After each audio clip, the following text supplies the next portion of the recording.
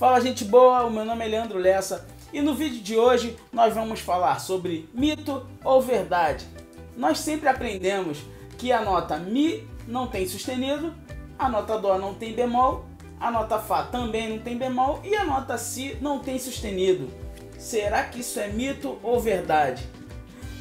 Vamos ao vídeo de hoje, mas antes não se esqueça de deixar o seu like, de se inscrever no canal e acionar as notificações. Me siga lá no Instagram, Leandro Lessa Oficial.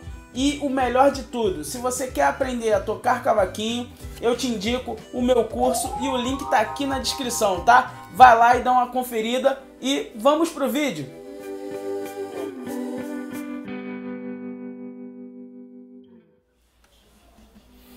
Quando eu comecei a estudar música, eu sempre ouvia todo mundo falar que a nota Mi não tem sustenido, que a nota Dó não tem bemol, que a nota Fá também não tem bemol e a nota Si não tem sustenido. E você também tá, se identifica com essa história? Então hoje vamos falar desses caras. A primeira opção é o seguinte: a nota Mi tem sustenido, Leandro? Tem, depende da situação.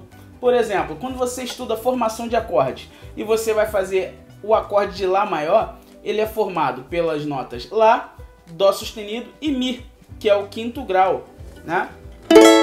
Então, se você quiser fazer um Lá com a quinta aumentada, você vai ter que subir meio tom do quinto grau, que é a nota Mi. Daí você vai chamar essa nota de Fá ou de Mi sustenido. Se você pensou que o nome é Fá, está errado, porque você não pode mudar o intervalo da fundamental com o quinto grau e você também não vai poder repetir notas na escala. No caso, já tem uma, uma nota Fá sustenido na escala de Lá. Entenderam?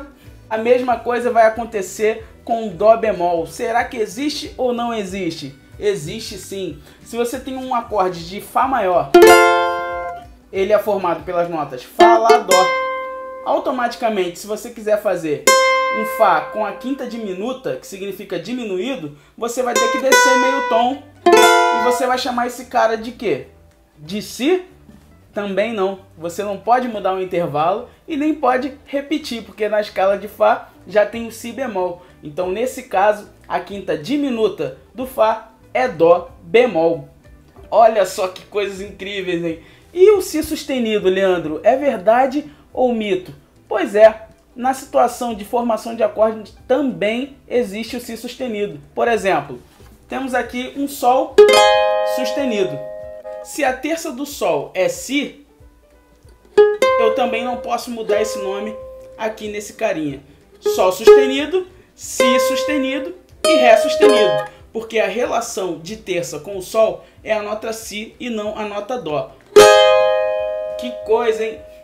E agora para fechar esse vídeo e acabar de vez quebrar a banca. Fá bemol? Isso existe? Existe.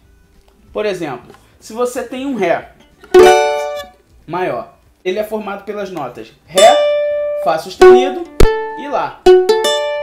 Se eu vou transformar esse cara num Ré menor, eu vou descer meio tom da terça. Nesse caso tem duas, virou um Ré menor. Agora, se eu estiver falando do Ré bemol menor, eu tenho um Ré bemol maior, que a terça maior dele vai ser a nota Fá. Então, automaticamente, eu vou ter que descer meio tom da nota Fá. E eu vou virar, e esse cara vai virar um Fá bemol. Porque a terça menor do Ré bemol é a nota Fá bemol e não a nota Mi. Beleza, gente? Deixa aí nos comentários o que vocês acharam. Se você não entendeu nada do que eu falei aqui, você precisa urgentemente aprender formação de acorde. Se você gostou desse vídeo, não deixe de dar o seu like, de se inscrever no canal, de acionar o sino das notificações, de me seguir lá no Instagram e o melhor, se você quer aprender cavaquinho, se você não entendeu nada desse assunto de formação de acordes, eu te indico a dar uma olhada no meu curso, o link tá lá na descrição, não esquecem.